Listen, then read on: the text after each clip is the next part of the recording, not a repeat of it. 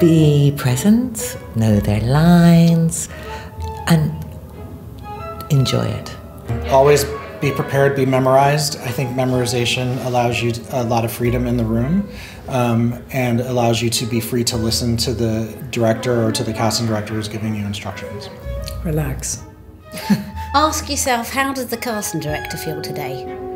And not focus on yourself. That'll help you too, because we're often very nervous. I know every beginning of every casting I ever do, I feel like a complete amateur and a beginner. So we're all in it together. If the casting director is bringing you in, they're obviously thinking of you for a specific reason. So try and, if you're having trouble with the script, then reach out. So don't be afraid to reach out and don't be afraid to ask for help. The more they enjoy it and are really present in the role, leaving everything that has um, is not relevant to their character at that moment outside, the better the audition will be, and the more likely we'll want to see them again.